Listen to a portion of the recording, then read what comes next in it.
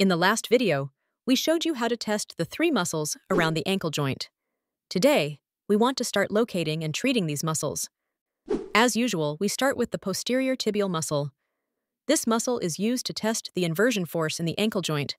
If there is weakness here, the ankle joint is not sufficiently stabilized on the medial side. It is therefore advisable to treat the opposite side. At first glance, this may seem a little confusing. However, Agonists and antagonists always work together and thus influence each other. To find the muscle, it is advisable to repeatedly perform eversion in the ankle joint. This tenses the muscle and makes it more prominent. For treatment, it is important to target this point. This is where the nerve is located, which must be stimulated 1 to 2 seconds. The rest of the muscle should be massaged for 3 minutes. Please be careful, as nerve points are often very sensitive. We therefore recommend staying at a level of 5 to 6 on a pain scale of 1 to 10. At the end, there is a retest,